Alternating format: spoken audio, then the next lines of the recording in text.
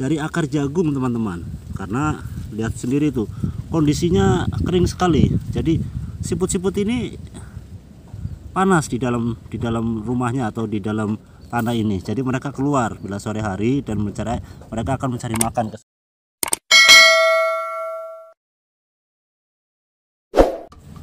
Halo teman-teman, jumpa lagi di channel saya, channel mencari siput. Kali ini saya berada di lahan perkebunan jagung, teman-teman. Wow, jagungnya sangat, pohonnya sangat hijau sekali, sangat segar sekali dan asri sekali.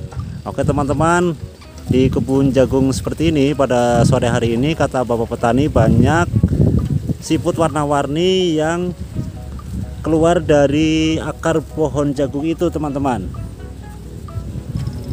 Dan kali ini saya mau berburu atau mencari siput warna-warni di bawah pohon jagung ini. Mudah-mudahan kita segera mendapatkan atau kita dapat banyak dari hasil pencarian ini. Oke teman-teman namun sebelum kita lanjut ke videonya bagi teman-teman yang belum mendukung channel saya channel mencari siput silahkan dukung channel saya dengan cara klik subscribe dan jangan lupa tekan tombol lonceng notifikasinya. Oke teman-teman kita langsung let's go. Kita langsung berburu mencari siput warna-warni yang berada di bawah pohon atau kebun jagung. Kita segera jalan ke jalan yang agak sedikit kecil ini teman-teman.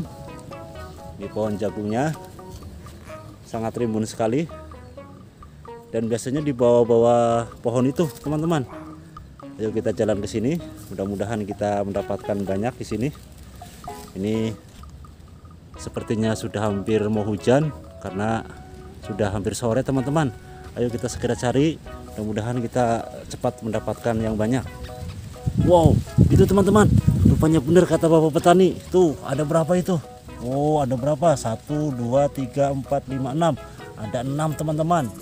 Ada 6 siput warna-warni yang berada di bawah pohon atau kebun jagung. Berarti benar kata bapak petani kalau di sore hari ini atau di sore hari siput warna-warni itu akan keluar dari dari akar jagung teman-teman karena lihat sendiri tuh kondisinya kering sekali. Jadi siput-siput ini panas di dalam di dalam rumahnya atau di dalam tanah ini. Jadi mereka keluar bila sore hari dan mencari mereka akan mencari makan ke sana-sana. Jadi lihat teman-teman teman-teman kita ambil siputnya. Wih, cantik sekali. Warna oranye. Warna pinknya ada dua, warna oranye ada dua, dan ini warna oranye juga.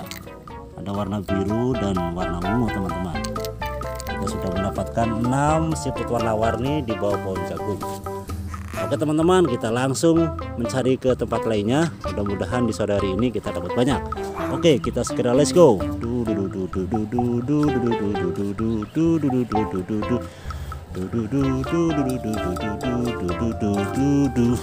Wow, tempatnya sangat rimbun sekali teman-teman. Wih, di sini banyak sekali siput warna-warninya teman-teman. Wow, iya benar ini teman-teman. Wow, ada enam lagi di sini. Wih, cantik-cantik warnanya. Yuk kita ambil teman-teman, karena sebentar lagi mau hujan.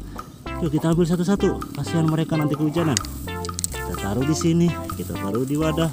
Ya teman-teman, kita langsung ambil satu-satu karena sebentar lagi akan turun hujan teman-teman lihat langitnya sudah gelap oke teman-teman kita sudahi dulu ya video kali ini. Kita mau langsung pulang ini karena sebentar lagi sepertinya mau turun hujan.